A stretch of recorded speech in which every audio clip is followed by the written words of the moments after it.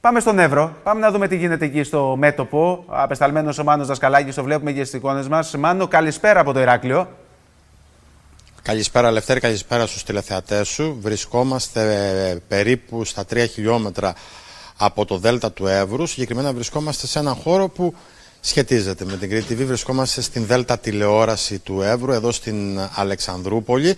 Και βεβαίως ολοκληρώσαμε σήμερα ένα οδηπορικό από τις Καστανιές, από το σημείο που τις προηγούμενες ημέρες ήταν στο επίκεντρο όσον αφορά την ένταση και τα επεισόδια. Ναι. Ε, βρεθήκαμε στο Διδημότυχο, ε, στα χωριά Άνω Βίσα, Ριζιά, Σοφικό, Θούριο, ε, κατεβήκαμε στο Σουφλί ε, και φτάσαμε μέχρι και το Δέλτα του Εύρου. Μιλήσαμε με αρκετό κόσμο.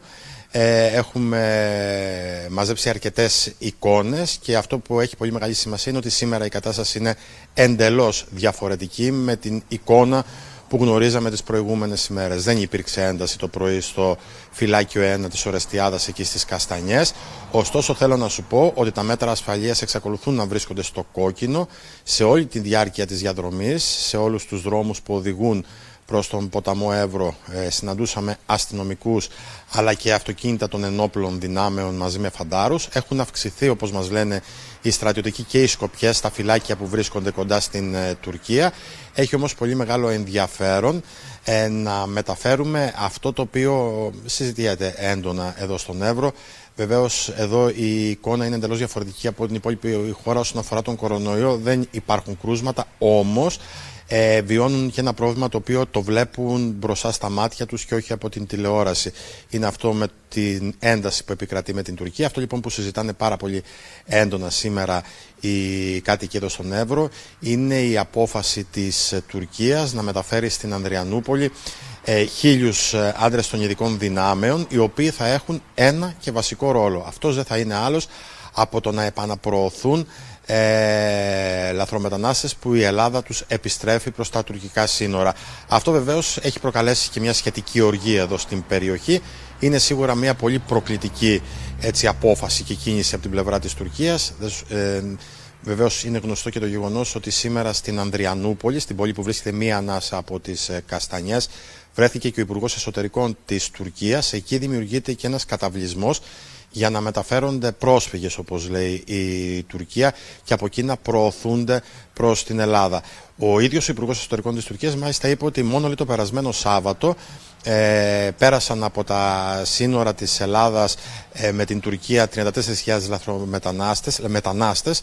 Ωστόσο, ε, είναι γνωστό ότι το συγκεκριμένο πρόσωπο της τουρκικής κυβέρνησης είναι και ένας από τους οραματιστές των fake news. Πολλές από τις ειδήσεις που έχουν διοχετευθεί στα μέσα μαζικής ενημέρωσης της Τουρκίας είναι ειδήσεις που τις δίνει ο ίδιος ο Υπουργός Εσωτερικών. Αυτό το λένε και ξένα μέσα μαζικής ενημέρωσης.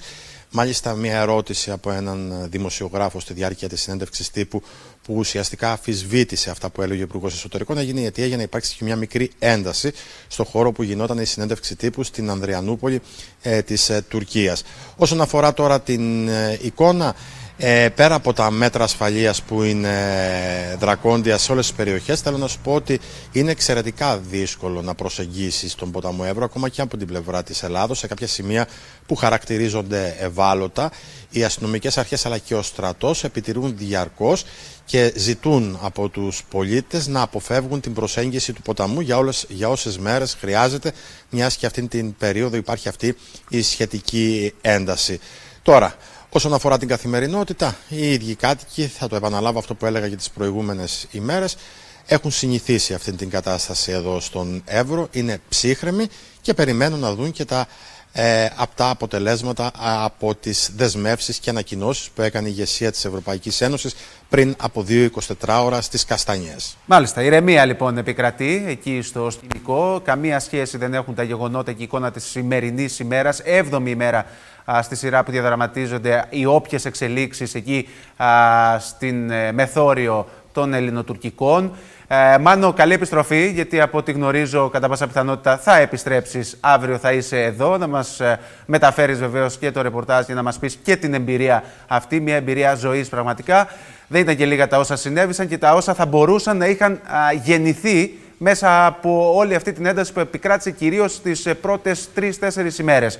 Καλή επιστροφή και καλή συνέχεια θέλω να σου ευχηθώ εγώ. Ευχαριστώ, Λευτέρη. Καλό βράδυ.